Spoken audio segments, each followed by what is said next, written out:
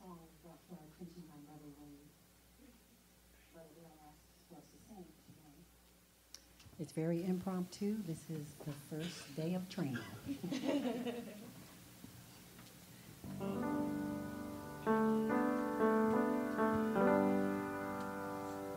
It's the song of the redeemed rising from the African plain.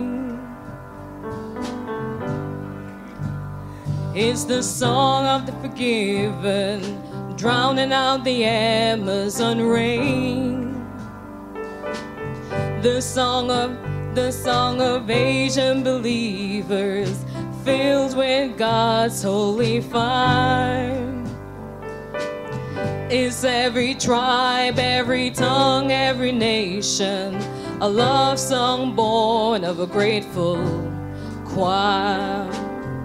It's all God's children singing glory, glory, hallelujah. He reigns, He reigns. All God's children singing glory, glory, hallelujah. He reigns, He reigns.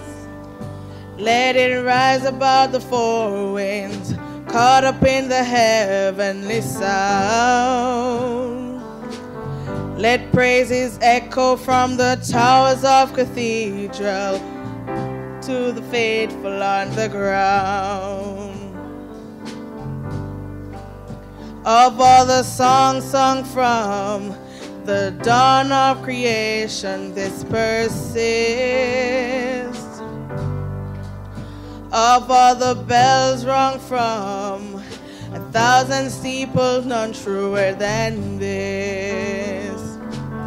It's all God's children singing glory, glory, hallelujah. He reigns, He reigns. It's all God's children singing glory, glory, hallelujah. He reigns, He reigns. and all the powers of darkness tremble at what they've just heard. Cause all the power of darkness can't drown out a single word. It's all God's children singing glory, glory, Hallelujah, He reigns, He reigns. It's all God's children singing glory, glory, hallelujah, He reigns,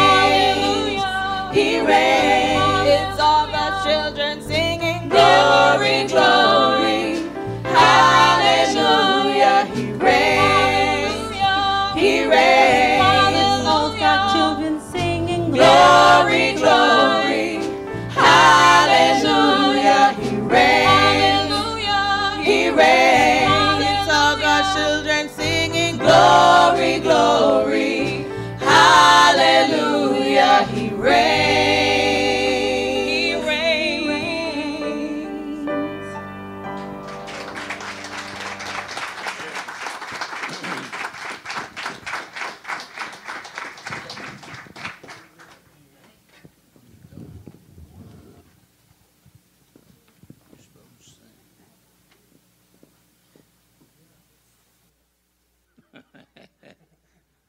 Brother Aaron's supposed to minister for us this afternoon also.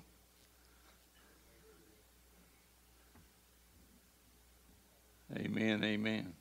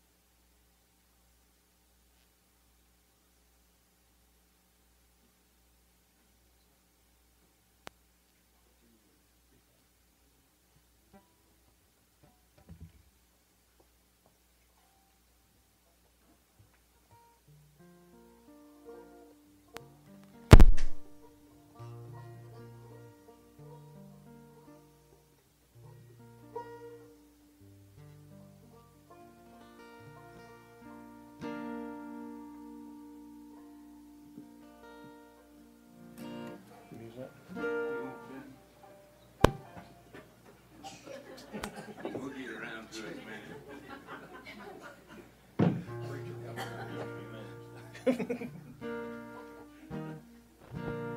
Well, first thing I done was I told him no. We, uh, one thing, we aren't that an organization, That's right. Yeah, we don't believe in organization. This song, Brother Donnie and I were going to do yesterday. We didn't get to do it, but uh, I'm going to try it again. Try it today. I have left the land of bondage with this earthly treasure.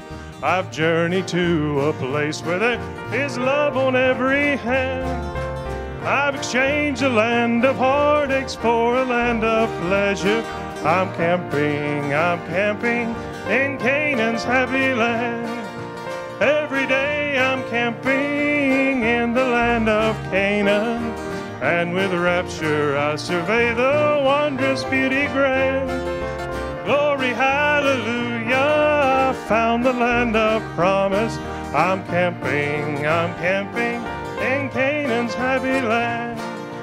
Out of Egypt I have traveled through the darkness dreary, far over hills and valleys and across the desert sands. But I've landed safe at home where I shall not grow weary. I'm camping, I'm camping in Canaan's happy land. For every day I'm camping in the land of Canaan. And with rapture I survey the wondrous beauty grand. Glory, hallelujah, I found the land. I'm camping, I'm camping in Canaan's happy land. Yes, I've reached the land of promise with its scenes of glory. I've journeyed into a place so lovely and so grand. I've been led by Jesus to this blessed land of story. I'm camping, I'm camping in Canaan's happy land. For every day I'm camping in the land of Canaan. And with rapture I survey the wondrous beauty grand. Glory, hallelujah, I found the land of promise. I'm camping, I'm camping in Canaan's happy land. Every day I'm camping in the land of Canaan. And with rapture I survey the wondrous beauty grand. Glory, hallelujah, I found the land of promise. I'm camping, I'm camping in Canaan's happy land.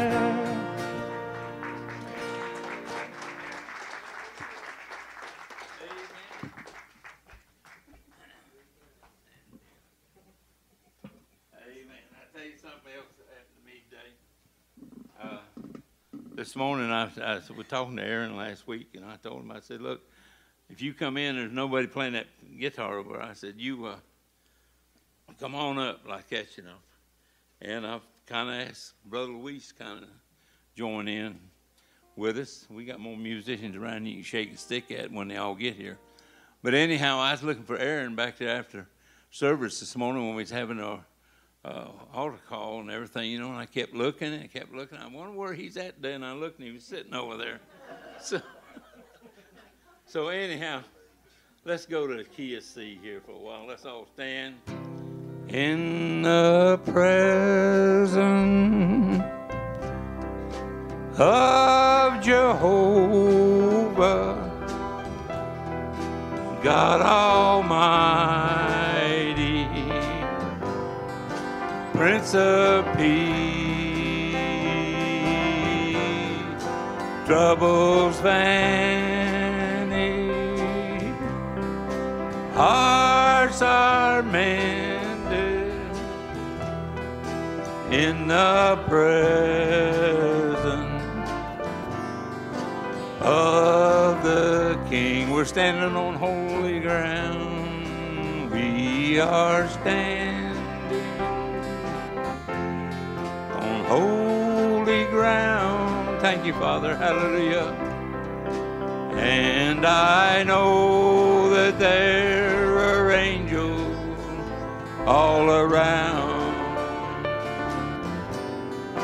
Let us praise, oh, hallelujah, hallelujah, Jesus now. We are standing in holy ground, in the presence of Jehovah, in the presence of Jehovah. God Almighty, Prince of Peace, troubles vanish, hearts are mended in the presence, oh hallelujah, of the King. Amen. Amen. About D. Open the eyes of my heart, Lord. Open the eyes of my heart. I want to see you. I want to see you. Open the eyes of my heart, Lord. Open the eyes of my heart. I want to see you.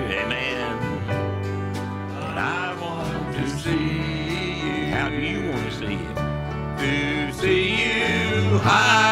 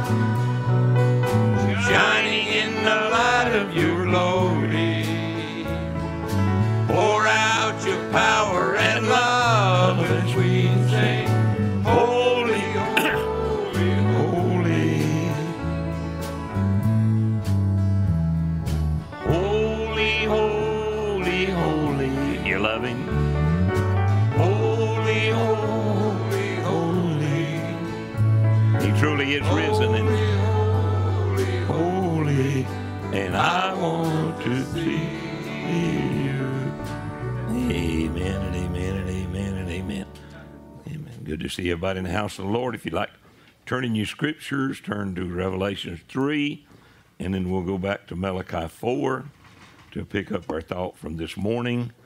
Uh, today would have been the Children's Day, you know, the, the youth having the services, but because some missing, they wanted to move it over to next Sunday. So it'd be the next Sunday for the for doing that, okay? Uh, remember the announcements that have been made, and remember now that at the end of the month, July the 31st, Brother Royal Seriano will be here. The August the 7th, Brother Quinn will be with us. August the 10th, on a Wednesday, Brother Reed will be with us. And August the 14th, Brother Nestor will be with us. So remember that. Amen. So you got it? Revelations 3 and Malachi 4. And Father, we love you. We thank you for everything, Lord. Thank you for the day and the grace that we have. The time, Lord, that you've allowed us to be able to receive. And we need you so much because we know and realize that there's nothing within ourselves, within ourselves that could make anything. But we rest in you and we ask you to come down and speak to our hearts and our lives. And Lord, just forgive our sins and lead us and teach us thy ways that we may walk therein. Lord, we know and realize there's many sicknesses among us and many afflictions, and you said you sent your word and healed us. So we believe you and we thank you. And guide each and every one. Just have your way. Forgive our sins, cleanse us from all unrighteousness, and keep us in Jesus' name. Amen. Revelations 3:14. And unto the angel of the church of the Laodiceans write, These things saith the Amen, the faithful and true witness, the beginning of the creation of God. All right, we're going back to Malachi because remember what we said as it starts in Malachi 4, verse 4. He tied together the entire Old Testament coming up, and that's why he would say, Remember ye the law of Moses, my servant. See, because that's who the word come to. That's the whole Old Testament is proof of one thing. From the old Old Testament, look what it's to do, and it stands and looks forward to see the entire journey of mankind, and it tells you how it's going to take place. So remember ye the law of Moses, my servant, which I commanded unto him in Horeb for all Israel, with the statutes and judgments. Now watch. Behold, I send you Elijah the prophet before the coming of the great and dreadful day of the Lord. And he shall turn the heart out. Now, notice not hearts. Turn the heart. There's one heart there, all right? Heart of the fathers to the children. That was the Old Testament saints to the New Testament message and bringing Calvary and bringing in the New Testament, the kingdom, all right? And then there's to be an end time to happen to what? and the heart of the children, babes in Christ. You remember, we're still on the stature of perfect man. Remember, we're still on Peter. Add to your faith, the virtue, all right? So then we're still back with that same thought now. And the heart of the children, see, it doesn't call them fathers there, right? Because it's not in the end time what it's to do. Take the children and turn them back. Okay? Take babies in Christ. Because you're not born again as adults. You're born again as babies in Christ, all right? And to turn the heart of the children to their fathers, lest I come and smite the earth with a curse. You may be seated. The Lord add his blessing. You understand why we're using those things that, to me, you know, to me, the entire Bible ties together and makes a beautiful picture that no matter what you're at or the point you're thinking about, the, like I said, why would he come all the way through and then summing it up and say, Remember you the law of Moses? Then makes his statement of the future coming, seeing what's to take place and showing you all the way through the complete plan of salvation to mankind to bring it from the, the, the point of the book of Acts and the children and, in the Old Testament, people turned to the New Testament message. All right. Now it's to take those children that we are, because we're not born again as adults, right? We're born again at faith, starting our journey, and now turn our hearts back to the original Father's message, which would cover then the entire Bible because it would cover then, as we were talking this morning, that what did the prophet do? He came, not as he said, he did, it's not in the beginning of his ministry, but in the winding down when he began to declare his message. See, now that message has come forth to you and I, and that way it will turn our hearts back. And what did he say on 327 of the church age book, this messenger of Malachi 4, Luke 17:30 will do two things: turn the hearts of the children back to the fathers, you know, the seven, the, the, the teachings of the word, right? He had to go back and pick up that to bring us to the faith of the fathers. Then, when we get to the faith of the fathers, you can start talking about the message the prophet brought. Amen.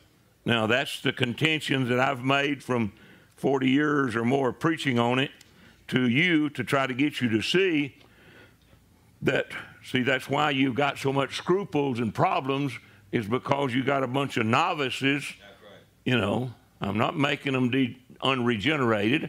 I said novices that are trying to interpret the Word of God to us when they don't even know what the word is saying themselves. They haven't experienced it. Like I've said, illustrating it. All right? I've got one, two, three, three computers in my home. We have a slew of them here in the building. but the computer is the most damaging thing you could ever think of to this end time people because you can just pull up anything you want to instantly of what is being said. And you don't, you don't see the ministers that spent the 20, 30 years of their lives like I had to do to study the message, to search for months for a quote, you know, just one little thing to search and search through the message. They're not familiar with the message nor the Bible because they, you know, they're just not concerned. But uh, okay, uh, I'm sorry about this morning. If you think I was, I just kind of had a point, and you'd have to know me uh, all day yesterday. It was there uh, last night at the fellowship meeting. It was there uh, this morning. Got up with it there. Come here this morning with it there. And when you do, then uh, it may sound like you're just jumping around, fumbling for something. But no, I want you to know one thing for sure. We have had a message. We are not looking for a message to come. We are not searching for another messenger. We are not trying to find somebody else that can interpret this for us. We have the Holy Spirit. No matter if it's just a birth, it's still the Holy Spirit. As I was saying the other day, why is the trouble when, you know, the people in the dark ages, they gave their life for the gospel, and the prophet said the same spirit they had is the same spirit in us to just overcome daily. Well, which one would be the worst looking like? It looks like that's a horrible time back there. And it was. They physically gave their lives. But now you've got to live daily and walk in the Word of God, trying to, you know, in this day to overcome. Yeah. See, if you ask those people, said, well, what's, you know, if you could show them both illustrations of where to live here and where to live here, they'd say, give me the gallows. You know, because that would just be something you could walk up and do. But we've got to overcome what? Laodicea? and overcome the, uh, sorry for wording, but the Antichrist moving among the people of the message to uh, pervert it to where you cannot be certain about what you believe. You know, because they just quote, quote, quote, quote, quote. All right. But see, the computers, I said, it's damaging because people can use it, but it's also wonderful that we can use it to the benefit of being able to search out things in a hurry. So forgive me if you thought, well, what was he doing this morning? I'm telling you, I didn't know that I would change the message until this morning. So I had the burden yesterday, had it all last night, and different things. And uh, I just tried to drive one thing this morning. We're not looking for something else to come. This message is the the message that will change us from mortal to immortality. If not, where are you going to get it? This message, I believe, Brother Branham's message. Now, I'm talking about the message. I explained the messenger is not infallible. He made mistakes and said things wrong and different kind of things, but the message is infallible. All right? Then that message is the headstone. What else are you looking for? Was the cornerstone the revelation of Jesus Christ? We still we read that in the Baptist. We studied that. We talked about it.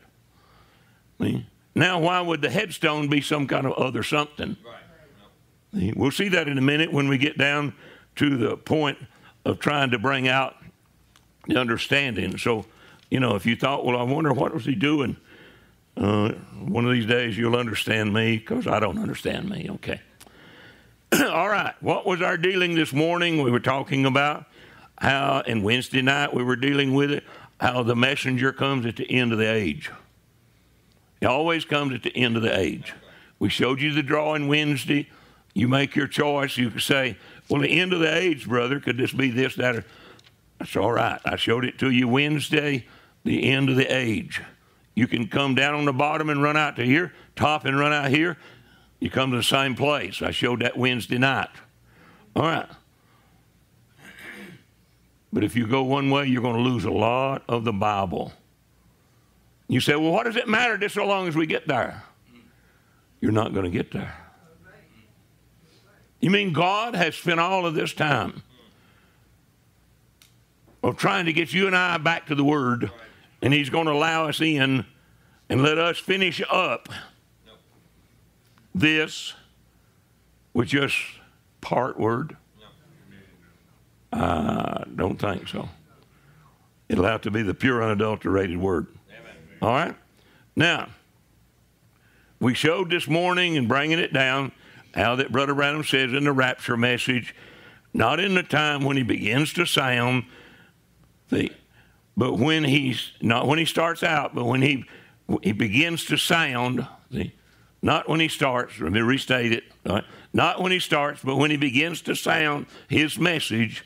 So this message came forth then by somewhere right in there about 62, you can see him driving, especially when he gets to Sirs, is this the time? He begins to bring it down and laying it in, and then he starts going, and that's when you've seen the people start turning away from him because they knew what he was saying. They was accepting him as a prophet and doing this, that, and the other until he began to say, I and my Father is one. Well, I didn't hear Brother Branham say that. No, I didn't hear Jesus say that. But that's what he said.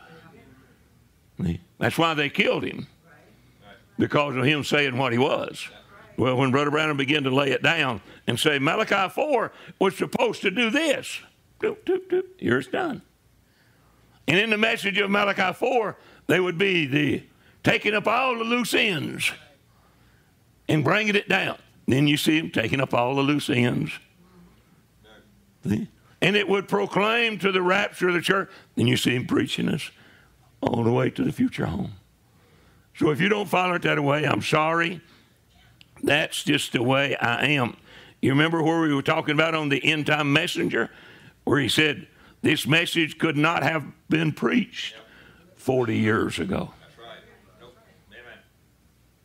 There was no way because you, you got to have a foundation. You got to do the first work of Malachi, right? Before you can do the last part. Because look what you'd be dealing with. You got to turn, and they did, the Old Testament saints turned at Calvary, coming in Jesus Christ, from there to the New Testament message. All right? But see, you and I had to have a restoring of the New Testament message before you can talk about the end time to turn us back to the faith of the fathers. I told you, don't take it and I'm off with stature of a perfect man. Because that's what we were doing. We've seen the stature of a perfect man is the very point that turns us from what?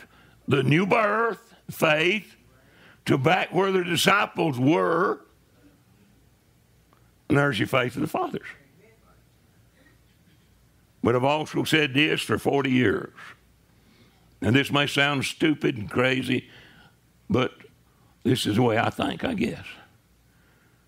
Every person in the world, 7 billion, this day could have the new birth.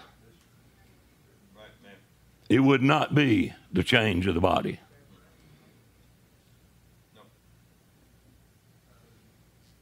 Right? Be a wonderful world, wouldn't it? Everybody in the world could stand at the faith of the fathers. Be a wonderful world. There wouldn't be no change of the body. Because all you got among the disciples is a prophecy of that. Change the moment, twinkle of an eye, etc. So you see where we got to get to. It's not to just talk about these virtues to find out what they are. Right. It's for us to strive for them to be made into our lives by the opening of the Word to where we could return to the faith of the fathers. But where do you hear that in the message? We don't need that anymore. We're up here in this. We're over here. We got this all figured out. Said, I, I, yeah, we, we, we got all that great revelation, that seventh seal is polygamy. And they got it figured out, ain't they? But ain't nothing you and I can do about that. And I ain't concerned about it because I'm concerned with you and I. Those who want to hear to come to a place to where we can be changed. I'm not, excuse me, worried about anything else. I'm not worried about internet. Welcome to internet. We have people out there that even count this our church, their church, and send tithes. Oh, amen. We count them, that's part of us. But to the rest, that's you. But yet, welcome. Do the best you can. Well, let's move on in God to where we can see things. But you see, like I said, now on the internet today, I said it this morning, on the internet today, and the preachers around the message, they're preaching about the great, horrible thing that is happening in Russia. Brother Joe ran it off for us to show where they're voting these things. You know what they're voting? That you can't have church in a home. How many of you live in a subdivision, especially built the last 20 years?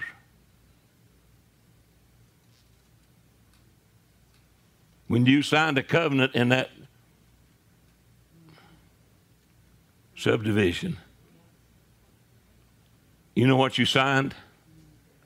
That you cannot have a religious service in your home with over a certain amount of people. But you think we're safe. Do you know in this community, you cannot put a church in this community, this city of Lula, without it being recognized and associated with a church that is in this community and established. That is their law.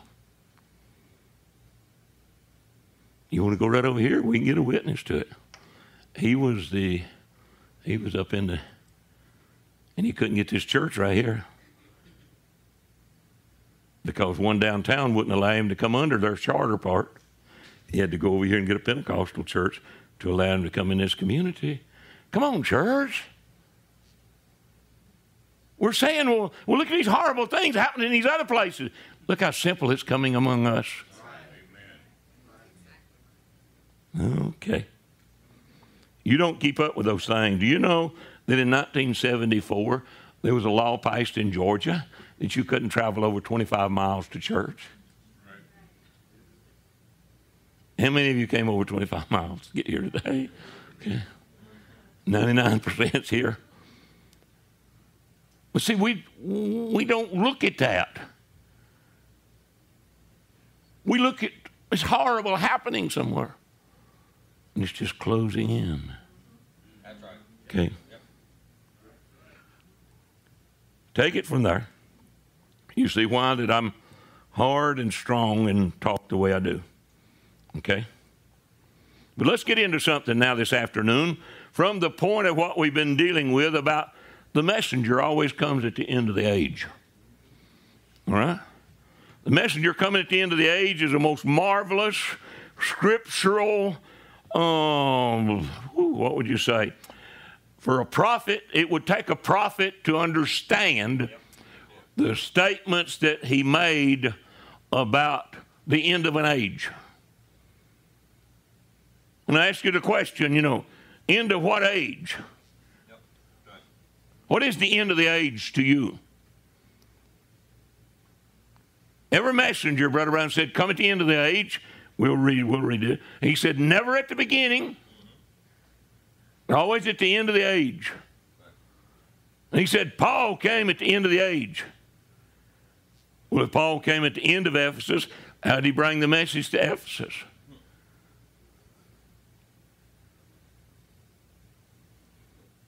Right? Then we'll let Brother Branham, we've let him do it, but we'll let him do it again where he resets the things that puts things in perfect order to where that you and I can see. But watch this thing that, or this part that we talk about. That what we're looking at. So let's start reading. We'll read fast this afternoon. Look what he says on the 70th week of Daniel. He's talking about along come Wesleyan age, and you know the Wesleyan age is called Philadelphia, the greatest age, age of love ever had, the Philadelphian age. And John Wesley's time, he went out in Pentecost. He went out in come Pentecost, and that was lukewarm. Then we'll go back and find out what kind of a message would come to the Pentecostals at the end. And remember, each one's come at the end of the age. St. Paul came at the end. The rest of them come down at the end. St. Irenaeus, they all come at the end of the age. So we established that. Now we've got to establish where the end's at. You say, well, you've already read this over and over to us. Right, deliberately to where we could bring this message and watch the message unfold of the prophet. Now, watch. Don't pull up the overlap picture yet, Brother Joe, but pull up the other one we was using, or Brother Anderson, or Brother Joe. Okay. Everyone's using. Bring up the one we was using Wednesday night that shows the entire thing of the church ages, you know. So we, we redone this in a little bit. We'll see another one. This one we've used for many years. Wade's used it many years. We've been using this for many year, years. All right? See, showing the church ages, the messengers, and the length of time. As I said this morning, I gave it to you. Don't get caught up in, well, these messengers, this is one of those, one somewhere in here, Columba, died before the age ever started. Don't get into that. But what did we give you this morning? What did Brother Branham say? Paragraphs or page 76, Ephesian church age, which is church age book. The death of Paul before the revelation was given does not at all annul the fact that he was a messenger to the Ephesian church age. For the messenger to ever age, regardless of when he appears or goes, is the one who influences that age for God by means of a word manifested ministry. And Paul was that man. All right. But now we've got to establish did Paul come at the end of the age? Or did he come right here? Amen. Did he come at the ending of Pentecost?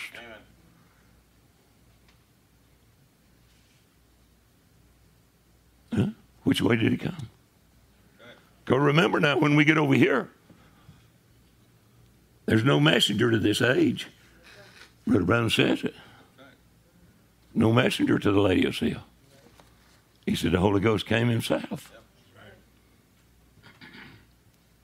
Now, you say, well, what's this drawings? So, but let's think about it. So go ahead now. Remember the drawing. The messenger comes at the end of the age in the overlap, which is an overlap, is an open door. That's what Brother Branham says. And got it on in here. It's okay. We'll just keep reading. But to think about it and see, you got the porters. We used that years ago in a message. Remember, the porter stands at the door, open the door. Right? The shepherd brings the sheep out he porter can close the door. That's in Jesus' ministry, right? Okay, now watch. So let's just think about it. Let's read one. Go ahead now and pull up number two. Is this the sign of the end, sir, in Jeffersonville? So remember what he said. Remember the quote we just used. Mm, go back, go back to number one. We need it. Pull number one, okay? Look. And remember, each one's come to come at the end of the age. St. Paul at the end, rest of them at the end. Watch him. Come down to the end, St. Irenaeus and all the rest of them. The other one's age carried over to the other one. Lapped over. Now, we'll show in a minute where Brother Branham said there is never an, uh, direct start or abrupt end to an age. So we're letting him say it. Lapped over, watch him. And he taken it up and went on to the next age with it. Remember, you're talking about the body of Jesus Christ. Right? Through the seven church ages. The body of Jesus Christ. Go ahead now number two. Is this the sign of the end, sir? He's talking about the seals tore loose. Paul was the first messenger we found. What did he do? Declared war on what? What did Paul declare war on? If he comes where you're saying the end of the age, like on over, you know, what did he declare war on? Paul didn't declare war on the age of Ephesus. He brought the message to Ephesus. Right? So watch what he says. Each age had its messenger. Paul was the first messenger. And when the first trumpet sounded and the first seal was broke loose, remember this is when he was bringing the ages, the messengers, before the foot seals broke. Paul was the first messenger. Find out what did he do? Declared war on what? Not the first church age. He declared war on the Orthodox Church for not believing the Messiah sign that Jesus had produced to them. Are you reading? Who did Paul rebuke? The Pentecostals from getting away from the Messiah sign of the Lord Jesus Christ or the resurrected Lord Jesus Christ living among us. Who did he do? Right? Declared war on what? Now watch it. A messenger rebukes the previous age, brings a message to his age. Right. Okay? So who did Paul declare war on? The Orthodox Church. Not the first church age. Right? Okay? How about it? Now, watch him bring in something that will be very helpful if you'll listen and think about it. Going to number three. This is taken from the Laodicean church age. This preached in 60, 12, 11. I do that because church age book is, I'll always say church age book. I define it. All right. The angel of this Laodicean age, to end it up now, he will be at the end of the age like the rest of them, like the Bible. Come on. At the end of it, because the angel always comes to rebuke for them for what they done. To the angel of the church of Laodicea, write these things. Paul, in the first church age, rebuked them for getting away. You want to read it? Revelations 2 and 4. Where he rebuked them from getting away from their first love. He's rebuking Pentecost. That's him. He comes to rebuke. To the angel of the church of Smyrna, write these things. Each one is to the angel at the end of the age. Paul, the end of the age, and on down, end of the age, the lap over. Now, end of the age. End of the age, that's what makes it lap. What makes it lap? Because the messenger comes to rebuke backward and bring his message forward. He's in the overlap. What is the overlap? We're going to get to it in a minute where Brother Branham said it's what? It's the open door, which is the revelation of Jesus Christ. Paul had a message, right? Unto the angel of the church at Ephesus. He rebuked the Pentecostals for getting away from their first love and brought the message to the church at Ephesus. Right? Now watch him. See, it makes a lap over. To the angel, speaking what was, this laps over here to the angel. In the end of that age, see, picking up right here, making the lap like star steps going up in the seven church ages. a lap over between every age. It's hard to draw. You'll have to look real careful. Go ahead, Brother Joe, and pull this up because I asked them back there to do a lot of impossible things, but they always do it and, and get it up for me. So go ahead and pull it up. What we tried to draw. If you'll see what we done, we pulled them together. Where the other had to do it like this. But now you can see it better here because you can't see it over there in the dark. Look here. There's the overlap. There's overlap between every age. It's never an abrupt end of Ephesus and start of Smyrna. God never does anything like that. I love Him for that.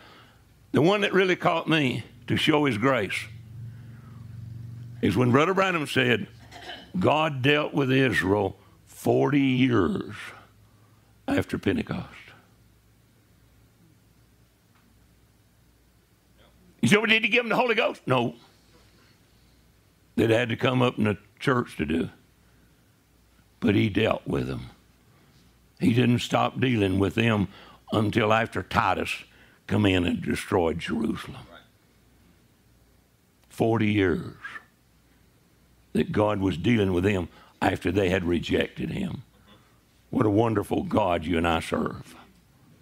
Watch this as we catch the overlap now. See, you say, where did Paul come? Right here, which was Pentecost. Right here, Irenaeus Falls, Martin, Columba. See? And an overlap. God makes an overlap. But what is the overlap?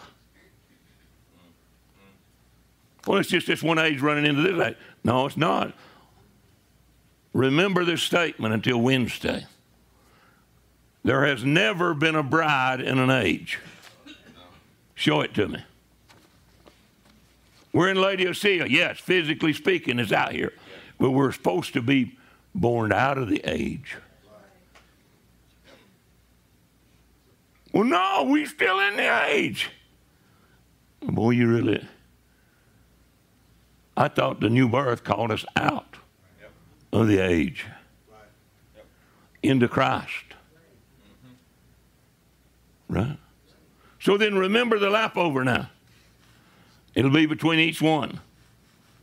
Never an ending of one age and a start of another. You would not have the lap over if you done that. You got to let one lap into the other. Do you realize in the days, uh, let's see, can I quote? Mm, I'll, get names wrong, so I won't try. Somebody wanted Brother Branham. This is a story told. You probably heard it. Wanted Brother Branham to go talk to their father, I believe it was. He's up in age. Brother Branham goes to talk to him. And he's in there just laughing and having a big time.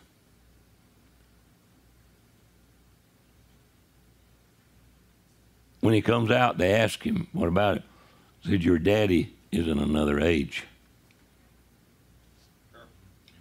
You realize God is so great until he didn't tell it to all the Lutherans that when Wesley started his message, that all you people are lost that don't take his word right now.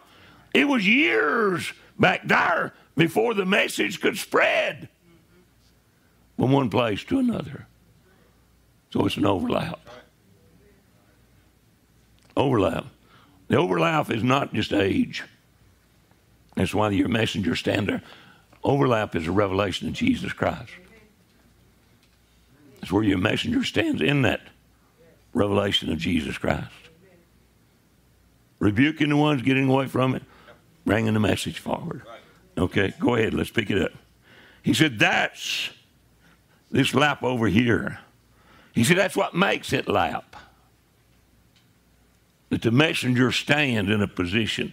So go ahead to number four. It makes him stand in a position. In what? Just standing somewhere? Where is the messenger standing? in Jesus Christ. Right?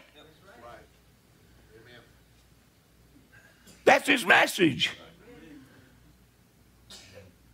It's an open door. It's a lap over. Paul had the message of Jesus. Irenaeus had the message of Jesus. Right? Your lap over is the revelation. Time wise, it's a man standing with a message. That's why that if you look back at the drawing, you can't figure out by the date or the age of where the person was and put it in a place. Right? Columba was not was dead before the age ever started. Now, here's where I was this morning. Do you realize what a prophet is? Have you ever thought about it? A true prophet of God, you realize what he is. We talk about him as being what? God's mouthpiece, right?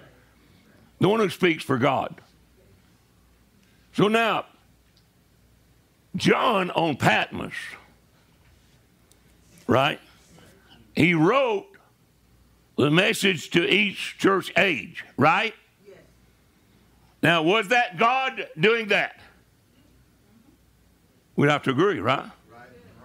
God placed the ages with the seven churches that was there around in that area and placing it to John. Right? God placed the ages. Your prophet said, the one closest to the truth. Why did he not choose? Go to your church age book and read it. Brother Branham spoke twice as much of Polycarp as he did Irenaeus. Read your church age book. Took twice as much time talking about Polycarp. But what did he say? He said Polycarp lent to organization. He said, and that was the reason he was rejected as the messenger. You know what he's saying? Have you ever thought about that? Who rejected what to do what? He said, and that was the reason he was rejected. You know, evidently, Brother Branham probably had him wrote down as the angel. Right? Come on. Why would he say it that way? He said Polycarp was rejected. So he probably had it wrote down. Paul, Polycarp. And God says, No, son, that's not it. It's Irenaeus. And Paul, Brother Branham went back and checked out Polycarp's life. I read a little bit out of the pre Nicene Fathers. Polycarp had a great revelation. The only thing Brother Branham said he could find was he leant towards organized religion. You understand what I mean? Brother Branham was probably going to put Polycarp there. Because there's no name to the ages, right? The Holy Spirit said, uh-uh.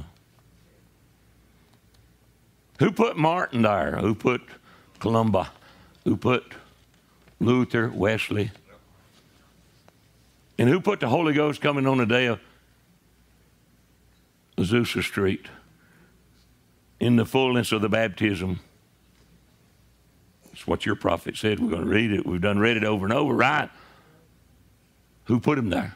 Who picked the messengers? Was it Brother Branham? That's the point I'm trying to get you to see. John wrote the ages and the who it's to. You know, Ephesus, Smyrna, Persia. Brother Branham had to be in the same spirit that John had, right? And then he put Paul, Irenaeus, Martin, Columba. Don't you think Brother Branham knew that Columba wasn't even born in that age? He done a lot of research. So was the age over here or was the age over here? What does it matter? Because no bride, no born again believer is in a church age. So my brother Branham could say, Laodicea is over. Then he'd say, Laodicea will end when the bride is taken out. Then he'll say, Laodicea, the seventh, will go all the way through the millennium. He knew what he's talking about. It's us that don't. Right? You say, well, what's the importance of that? I want to make sure I'm in that overlap. Right? If we're not in the overlap, we're not called out of the church. Now, may I remind you of something that on the drawing in your of the where it was drawn out at Jeffersonville, you better believe there's no bride in an age. If you don't, you got a lot of trouble. The blackness in there was not the bride. If you got that much sense, the blackness was not the bride. Well, you know what the last age was? Brother Branham said, I left a little light. He said, because it went into total darkness. If you can't look out there now and see how dark Laodicea is, you're, you're sure spiritually blind. All right? But you see, the bride was never in that age. You say, we're in the bride age. Every age at a bride age. There's a great meaning of that. We'll get on it Wednesday. What are you looking at it? I want to be in the overlap.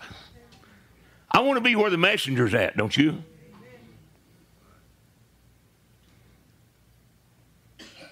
Come on, is that right? The scripture said we got to go out unto him. He was crucified outside the camp. Well, I'll just stay in the camp. No, no, that's not Bible. It's Bible to go out of the camp to where he's at. Out of Laodicea into Christ. Well, what do you mean we're still in Laodicea? I hope you got enough sense to realize that I got a little sense and can, can look around. The age is dire. But we're supposed to be called out of the age. That's why the scripture would say, Love not the world and the things of the world. Because that's the age. Okay? I'm slow. But listen. Let's go ahead. I want to make sure that because we're going to deal a lot with this overlap, even if we have to cut some others. But look at number four. We've been over this one. In the first seal, Brother Branham explains the church ages. And look what he says. Then along came the Pentecostal age with the baptism of the Holy Spirit, and they cabbaged down on that. Yeah. There cannot be no more ages. That's all of it. Listen, that's the Philadelphia art, not the that's the lady Laodicean age.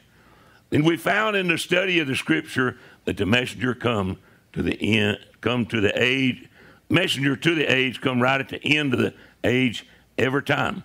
Paul came, come at the end of the age. We find out at Irenaeus at the end of the age. Martin at the end of the age. Look, Luther, the end of the Catholic age. There is no Catholic age of the seven church ages, but it's a Catholic age because it's a dark age. The thousand years of darkness of the Catholic Church. And Luther comes out of that darkness, stands in the overlap. What is his overlap? The revelation of the just shall live by faith. That's what made the overlap. He stands in the revelation. Look at it. Luther at the end of the Catholic. And what? Wesley at the end of the Lutheran age. So now he's telling you Wesley comes at the end of Luther's age. All right, now that's what he had to say. Wesley, we think that what? Wesley came at the end of Luther's age. He didn't come up here, he come at the end of Luther's age the overlap. Come on, read your message. And then what did he say took place? And Pentecost at the end of sanctification through the baptism of the Holy Ghost. So, at the end of the age of Wesley, come who? Oh, Elijah came. Hold on to your point. Look. And at the end of the Pentecostal age, the Holy Ghost came. We're going to reread that one, right? At the end of the Pentecostal age, we're supposed to receive according to the word. Now, you know what Pentecostal age? Pentecostal age is Lady Laodicea, right? right? You're not talking about back there in the Bible. It's the Pentecostal age is the Lady Laodicean age. I got the quote if you need it.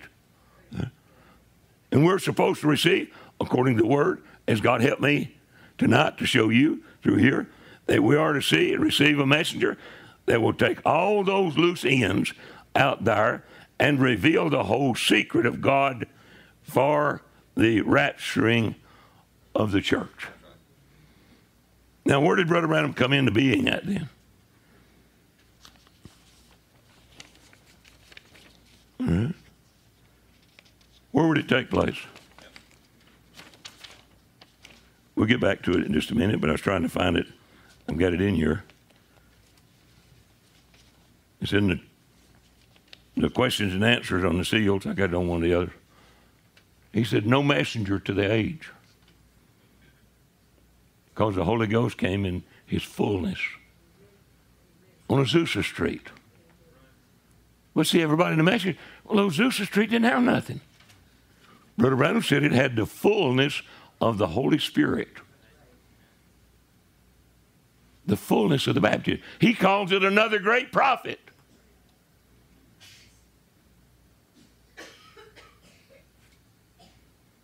But we don't. Uh, may I quote it this way? Paul said, I've become your enemy because I tell you the truth? Have I become your enemy because I can remember and have read? Because I was reading this and teaching this before the computer ever come into being. You know, for me. I was teaching this in the, late 60s and early 70s. Right? No problem. All right. We'll get to that in a minute, but just remember, if you need it, I'll be glad to find it. It's in, in my message somewhere. If not, we can find it in a hurry. See? Why? Because the Holy Ghost came on the day of Pentecost, Azusa Street Pentecost. Now, back on Azusa Street, the Holy Ghost came himself. That's what your prophet said. I've given it to you two or three times. If you need it, Brother Joe, if you can find that part, I had it in my notes and I got it laying here in my Bible somewhere. And if you need it, I can find it in here. Well, I don't say nothing and I can't prove the prophet said it. Okay. Okay, we got it. Paragraphs. it's paragraph 52. On questions and answers on the seals, paragraph 52. And you see each one of those ages only taking a dip into the Holy Spirit. Justification is the work of the Holy Spirit. But the baptism is the Holy Spirit. Now watch him. That's the reason it took a prophetic prophet to come down. No messenger to the age. The one-eyed black man was not listed as one of the early as one of the church age angels. You only have seven angels. Brother Branham calls him the messenger, right? But he's not one of the angels. Why? Because it's the Holy Ghost himself. Look. That's the reason it took a prophetic prophet to come down. No messenger to the age. Because the Holy Ghost came himself in the fullness of his baptism. I surely don't hope you think that's Brother Branham. Go here. But at the end of the age, and it always ends upon the others, we find, find there then the messenger sent and all of these scruples and things. Right? See, your prophet knowed what he was talking about. But we say, no, Azusa Street didn't have nothing. They just, oh, they just didn't have nothing. He called it the fullness of the baptism. Okay? That's paragraph 52, questions and answers on the seals, 1963. Okay? I want to get this overlap. Go ahead to number five Philadelphian church age. Okay? The angel appears right at the end time. Just at the end time to rebuke the church for, its, for losing its first love and how it's got away from God like they did. That's Paul rebuking Pentecost for losing its first love. Orthodox Church, we read that a minute ago, like they did down through there, the ages. And at that time, the rapture comes to take the church home. The church goes up just at the time of the message. What message? Brother Run's message. Right. I thought it was to reveal the secrets. Yeah. Same thing tonight. What? The angel messenger comes to back, going up, we're reading down here, to rebuke them, each age like that, for what they had done. So that makes a lap over in each one of the church ages.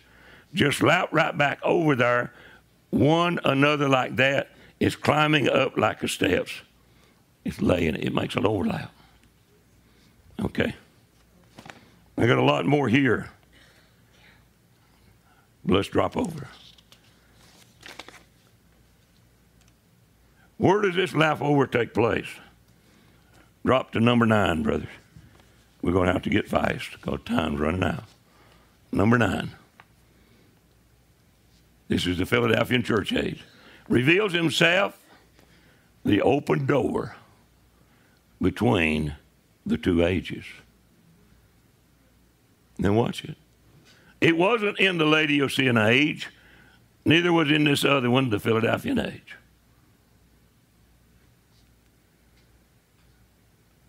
But it was between the lap over. Cause I'll prove it in just a few further down, and you'll get it, you'll see it makes it so rich. What about it? Not this this lap over is not in the Philadelphian age. It's not in the Laodicean age. It's in between. What was that lap over? That was your Azusa Street Holy Ghost. It came in its fullness. Do you realize that the name of Jesus is what we're talking about? We're going to read it. You know, the name of Jesus began to be restored between the sixth church age and the seventh one.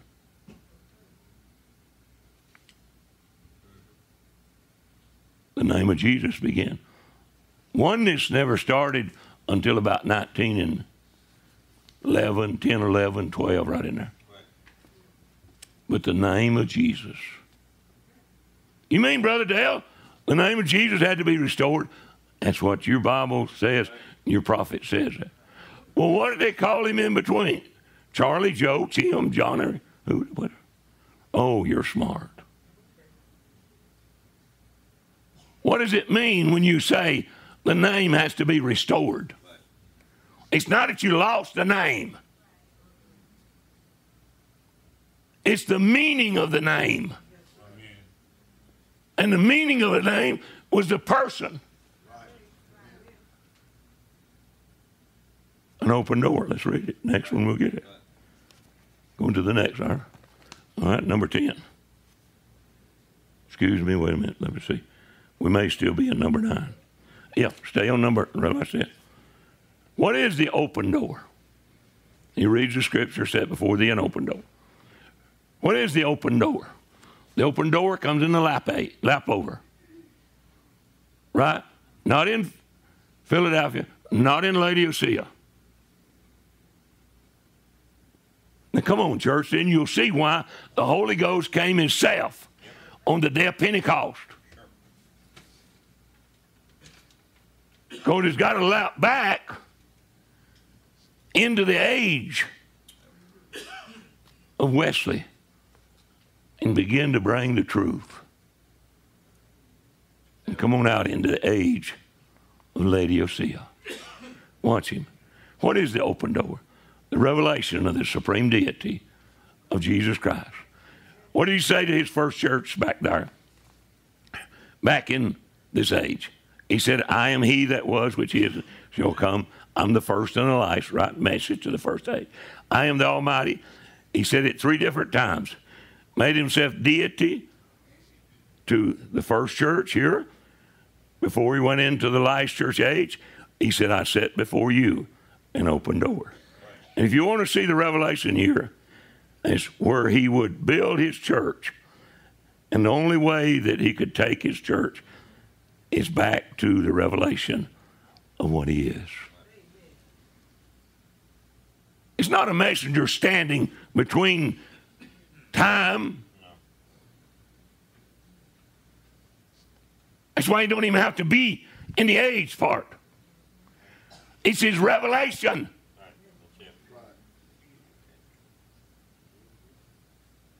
Come on. Paul and them, I mean, uh, West and them were Trinitarians, right? But you want to read some of the little books, amount I've got about it?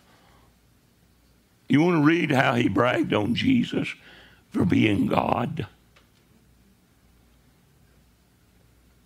But then when he finalized it up, he said, but said he is the third, third person of the Trinity. Because he didn't know the revelation. And God began to restore the name. And it was lost and couldn't be found. The revelation of the supreme deity of Jesus Christ began to be restored. Where? Between the sixth age and the seventh. In the lap over. In the open door. Come on, folks. If you missed the whole rest of the message, remember this prophet that we speak of, the Elijah of this day, we know it's the Lord Jesus Christ, but he had to have a man to work through. But do you realize he stood between man and eternity in the open door? Do you realize his message is the open door? You realize his message opened heaven to where we could go. Right?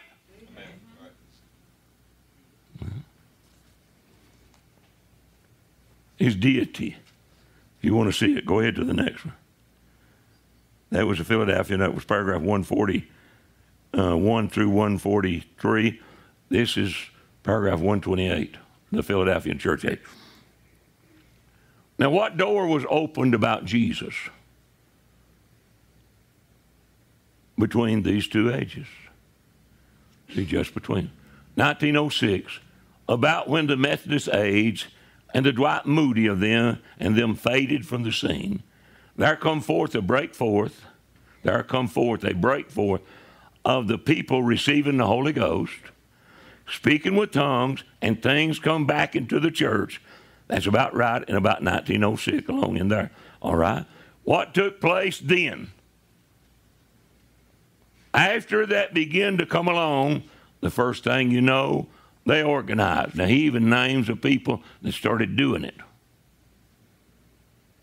They organized the old general council, which went in, which went in, now called the assemblies of God. What? See, out of the church, out of that church that was lapped over and what took place to them, he said an open door. A revelation of his supreme deity is the open door. The revelation of Jesus Christ coming back to the church, the name of Jesus being restored. We've got out of, I hope, from looking at lap over and ages and things and thinking about a man standing. Put him standing there in the revelation that he's got. You realize then this messenger stood where no man has ever stood. Between time and eternity in the overlap, which is an open door between the Laodicean age and eternity, putting him coming at the end of the age to bring the message. Into what age? Age of time. Eternity is not an age. He stood between to bring the message in the lap over. The open door. What about it, church? See, that's what makes the lap over an open door.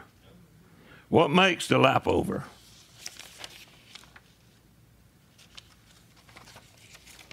Watch what he says. Go to 10a. Now let him say it to you where you won't be fussing will be about it. This is the message of baptism of the Holy Ghost, 1958. But he said just between the Methodists and Pentecostals going out, you know, going out of Methodist, coming in of Pentecostal. I have set an open door before you. There you are, the name restored again. I have set an open door, but I'm the way, the truth, and the life. No man comes to the Father except through me. What is it? That open door. You realize that you and I, right now,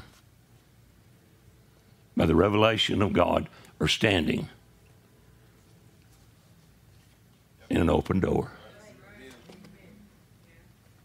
Not in Philadelphia, not in Laodicea. The revelation of this message has called us out of the age into Jesus Christ. And He's the Word. So the prophet's message then is what? The headstone. Let's see if I can think of the quote. In the something, he's the cornerstone. In the full church, he's the headstone. That's a direct quote on the last part, I know. In the church, like, you know, he was the cornerstone. But said in the entire bride, he's the headstone. Uh-huh. This is the age, excuse me. This is the age when the entire revelation of Jesus Christ is to be brought forth. It's not just talking about ages and buildings and places and doings. It's to illustrate, to try to show where we're at. See, we're supposed to be called out of the age. But you know what our biggest problem is? We're, in, we're uh, too much spiritual to be worth a lot natural because of what we're thinking about. Well, we're too much natural to be very much spiritual. Right? Because we still are in the age. Time is out here. But we're supposed to be in Jesus Christ. And when God looks down and sees his bride in the end time, he sees her standing wrapped in his robe of righteousness. The revelation of Jesus Christ. What is the message of this age? How much greater could any man have ever spoke about Jesus Christ than this prophet messenger. But yet I ask you, how many of you have ever read this church age book? I ain't asking for no raising hands. Afraid it might be embarrassing because you know you go, I got half of it. How many of you ever read the seal book?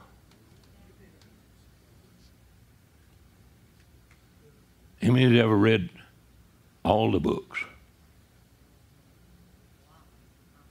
We got one hand back there that says she's read every book, and I believe her.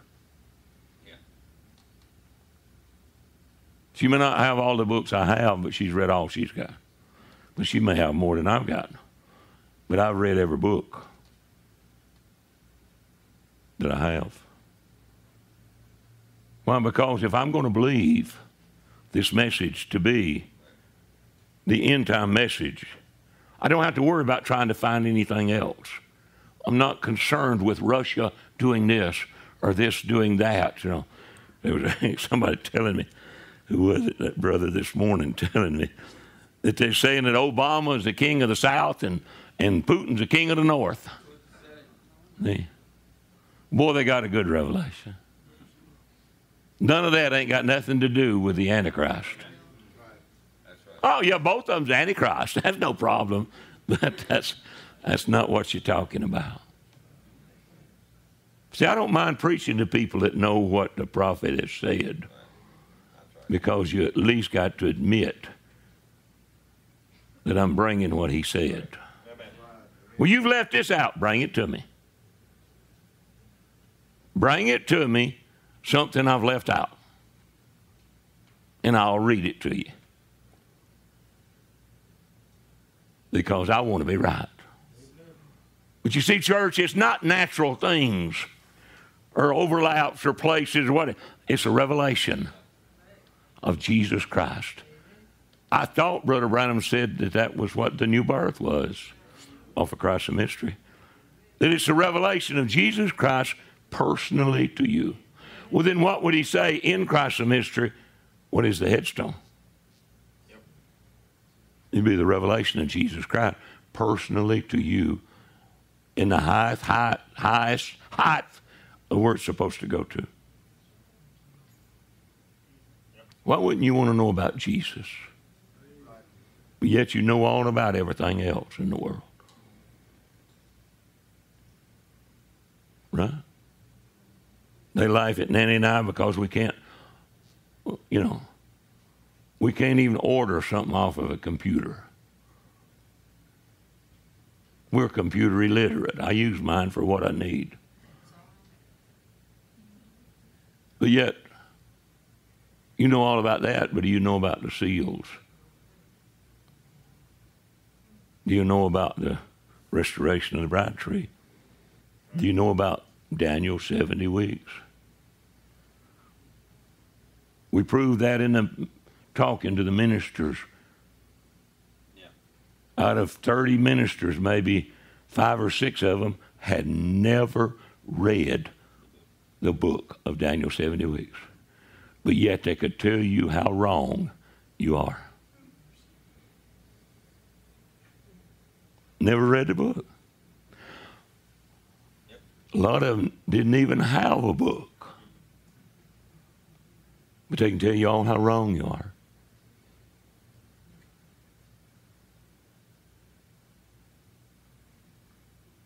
At least, church, we ought to be the most Jehovah Witness reading room people that has ever been.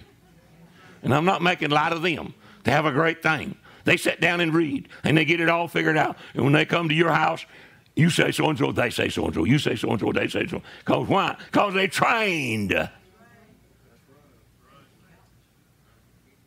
Right?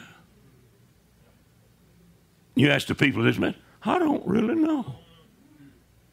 Like one preacher said one time, he said, now, he said, that adoption is simple. But he said that stature of perfect man is deep. Well, I thought that's what it was. I thought the stature of perfect man told you how to come to adoption. We're going to get to that. We're heading that way. I thought that's what told us how to become adopted.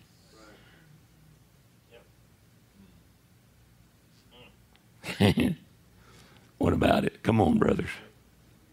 Let's just quit. I've poured out my heart to you. I told you I had a burden last night, and I had to get it off this morning off of that part to try to bring the, the things into the right place. And to make sure.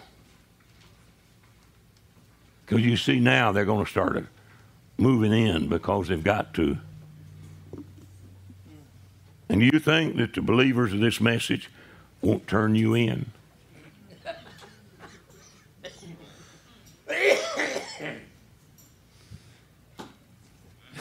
They think they're doing God a service. You think all these on the internet claiming Brother Branham was wrong? You think they're not trying to say they're doing you a service to save you from this cult? What about it? But do you see why there is an overlap? Because, listen, it's one revelation overlapping into the next one. All right? This is coming forth. The next messenger goes back, overlaps his message, and carries it right on. May I quote Brother Branham? All of the prophets in the Bible, what did they do? They made an illustration. I'm not saying he was wrong. I'm just saying I doubt a lot of them even knowed each other. but what's he saying? He said no prophet would bring his message until he checked it with a prophet before him. That's paraphrasing, but it's close enough. He checks his message by the prophet before. That's how Daniel knew he was going to be out of there in two years. Because he lapped it back to the other one. You look at those church ages. Paul coming in there with that great revelation. Listen, and Brother Branham says the pure unadulterated word lasted four ages. Then it began to deteriorate. You realize Paul, when Irenaeus come along, he looked back to Paul. When Martin came along, that Brother Branham credits as being the greatest of all. Never hardly a meeting that they didn't have signs and wonders in Martin's life. But he looked back to the one before him and said, I'm lined up. What about Brother Branham standing, looking all the way back? Oh, he bypassed Luther and Wesley and them because didn't it now? You better believe one thing for sure. If you got the Holy Ghost today, you ain't going to reject Luther's message of the just shall live by faith. Now he's teaching of other things, the Godhead of things. But remember, God winked at those ignorances, but he don't wink anymore. Right? He commands all man to repent, the scripture says. We have no excuse. You see, I could stand and shake Martin Luther's hand and say, Thank God for the message you brought. Of the just shall live by faith. And I ain't gonna look down, but now you're just kind of a little mixed up, you know. No, uh, you, you, ain't up here where we at. Oh, I left it laying in there and up thing where Joe ran it off. With something that's similar. If you think you're something, you just gonna find out you ain't nothing. That's the best way to say it. Do you understand? Then we'll go into the bride age, and then we'll pick up another message or two that as the messenger would come at the end of the age, he would rebuke the people of the previous age from getting away from their messenger, and then he'd bring the message. Brother Branham, what did he say? He said, to uh, paraphrase, but he says, uh, the Baptists can look the, if I get them wrong, put them, you put them in the right place. He say, like the Baptists can look at the Methodists and and tell them they're wrong. And he said the Pentecostals can look at them and tell the Methodists they're wrong. I'm paraphrasing, but very close. He said, but I can look back and tell them all they're wrong. You know that a prophet stands before no one. That's why all these goofballs think they're doing something you can't correct a prophet. We was talking about it last night. What do you think about the prophet that was told to go marry a prostitute and have children by her? Now that's contrary to the Bible, isn't it? How is God going to condemn that prophet when he told him to do it? Right? Yet it was contrary to the word to go do it. Come on. I got a lot of questions that I love to ask people. Those are things that maybe we don't have to figure out. They're there. That's right. What is he going to judge everybody by? The word for the age. He's not going to judge the Baptist by the Methodist message. He's not going to judge the, the Methodist by the Pentecostal message. He's not going to judge you and I by Methodist, Baptist, Pentecostals, or whatever. He's going to judge us by this message that has been brought to you and I. And judge us because we haven't made ourselves available to the message.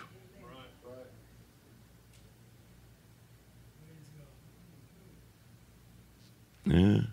Well, Brother Dan, we just don't have time. I got to do this, that, and the other. My mother would get up in her day and she'd cook breakfast before we got out of bed. When we went to the field at daylight, we got up, we watered and fed the mules or whatever we were going to work that day, and went on to the field. By nine o'clock, Mama was in the field. It didn't matter what we was doing. She was there working. Eleven o'clock, she went back home and she cooked us a meal. We went home to eat. Before you ate, you fed your mule, you watered your mule, or you wasn't going to eat. One o'clock, we went back. Before you went back at one o'clock, you watered your mule. Might give him a little bit of extra corn, you know, once in a while, because you were going to work him till dark. Three o'clock in the afternoon, my mother would come to the field with water and tea cakes, plain old tea cakes made. And we ate that. Because you know what? We wasn't going to quit early. When the sun started going down, we could go home. She went home early, she cooked supper. You still didn't eat till you fed and watered that mule. Because she wasn't going to let you. What are you talking about? She had time. I quoted about John Wesley's mother? How many kids were there? Bunch. How many? 17 kids. And Brother Brown said she had time every day to, to read the Bible and talk to them. But yeah, we don't have no time. Okay, let's stand. but we're the bride. We're getting ready to get out of here when Russia comes down. When they put that, white, that woman in the White House. I hope to goodness they put her in. I ain't voted on a presidential election since John F. Kennedy, and I've thought about going and registering where I could vote for her.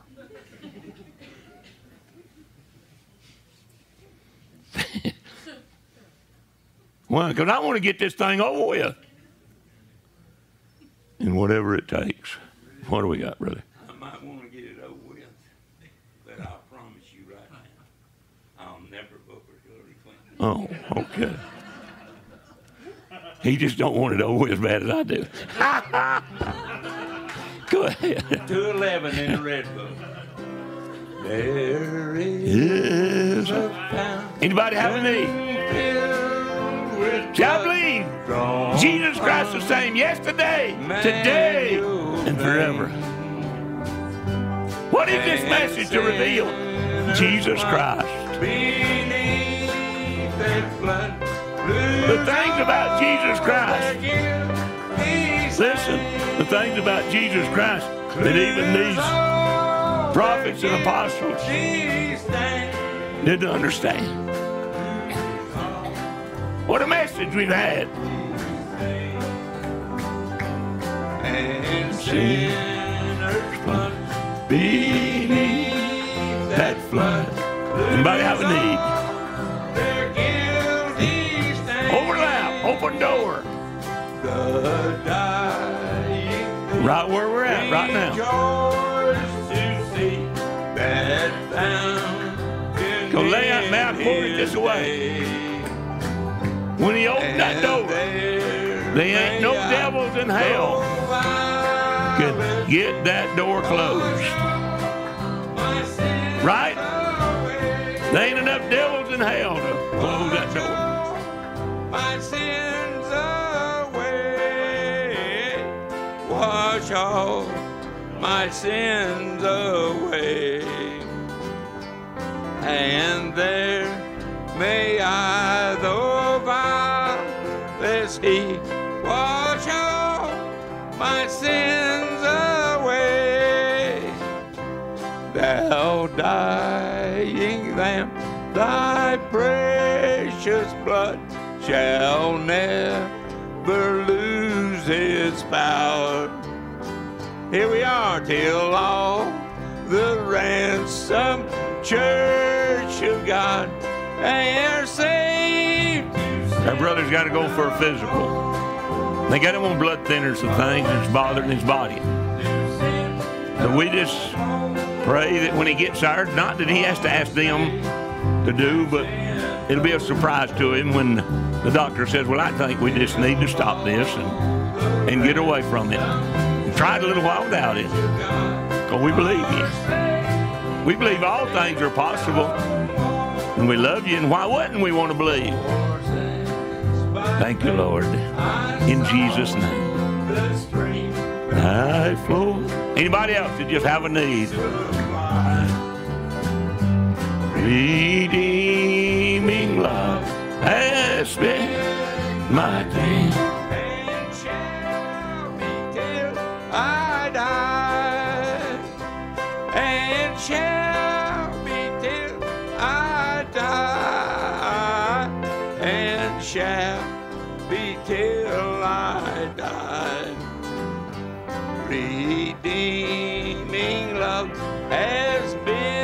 And these in the name of Jesus Christ.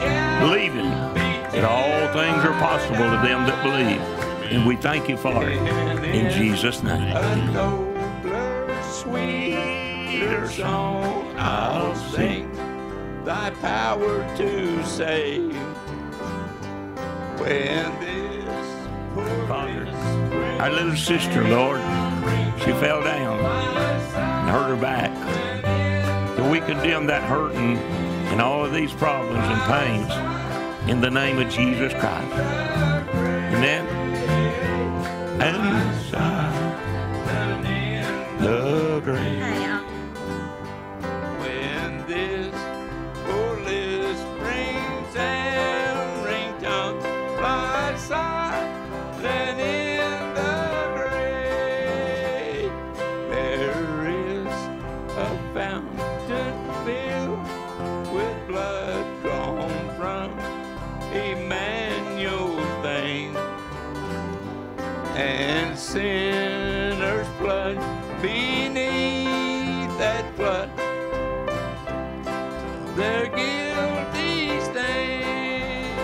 In the name of Jesus Christ.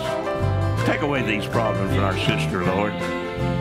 It don't matter what it is, we condemn it under the blood of Jesus Christ. And we thank you in Jesus' name.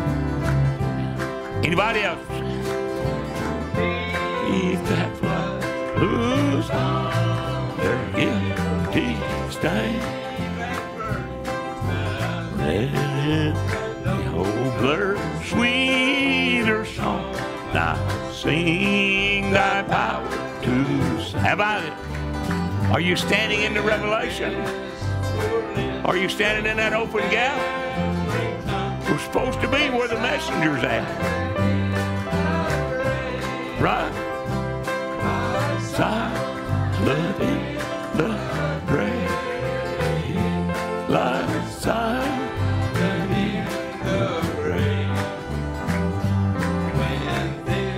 You got to be where your messenger is.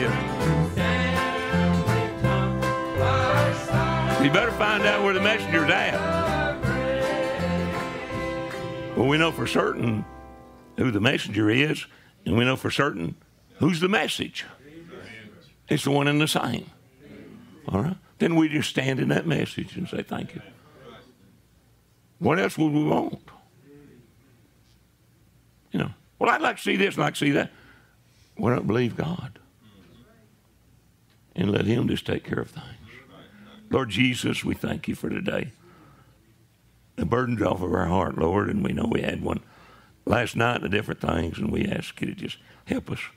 Because we just want the people to see that the open door that this prophet has brought before all of us of the revelation of Jesus Christ is where we must walk into.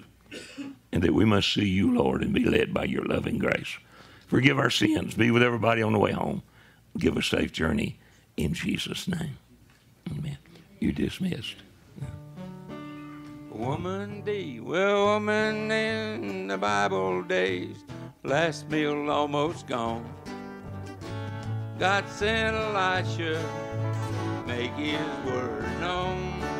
Said, woman, don't you worry, God sent me today. And before you even ask him, help was on the way.